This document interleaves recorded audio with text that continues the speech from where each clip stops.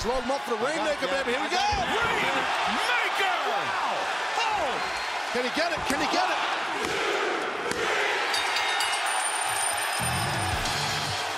The winner of this match. AEW Continental What up, y'all? This your boy Ace here, and welcome to After News. So, like, let's talk about this match with Eddie Kingston and Kazuchika Okada, man, for the Continental Championship, man.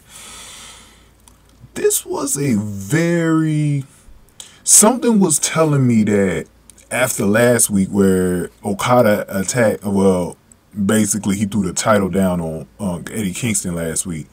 Something was telling me I was like, man, could they actually give the title to Okada the very next week? Because we knew they were going to face each other on Dynamite, man. So let's go over how the match went towards the end, man. So Okada uh, threw a big clothesline at Kingston, who put his arms up and still sold the move. By the way, the Young Bucks were watching backstage with Tony Khan, by the way.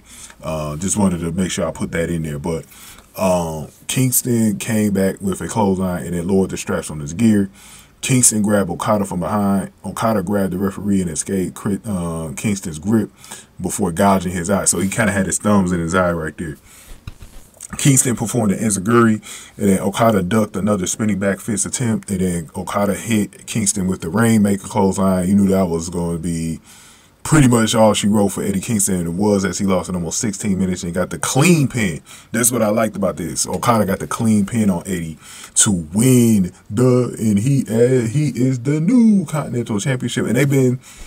I love that they did this. They did pyro when he won too, and the Young Bucks was very happy about um, Okada winning as well. So, um, but then Pac made his entrance and paced on the stage like he's going to be the next challenger for that Continental Championship off of Okada. So we're gonna see Pac. Pac was in that match last week against Okada in that uh, trios match. So we're gonna see what's gonna be going on with that. But I love it the fact that they gave Okada the, the Continental title early.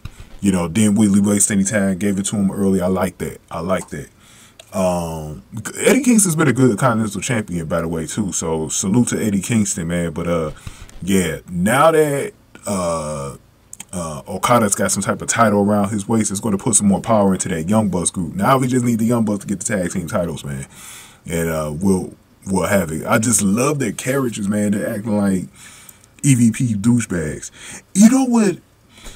What they could have did as well, but I think it helps the Young Bucks not to follow anybody. Is that they could have had Don, they could have had them all join the Don Callis family because I did like the the little angle where Don Callis was uh uh managing Kenny Omega when he was a heel and he was uh he had the title. I did like that, but I do like the Young Bucks in those EVP uh positions, especially since they were sitting next to Tony Khan and looked like they were kissing ass. I love that. I love that, bro. I love that. That was great.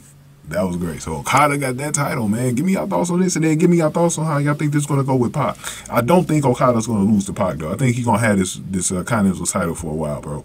But get this video like, share, subscribe, y'all. Thank y'all for watching. After news, Delight.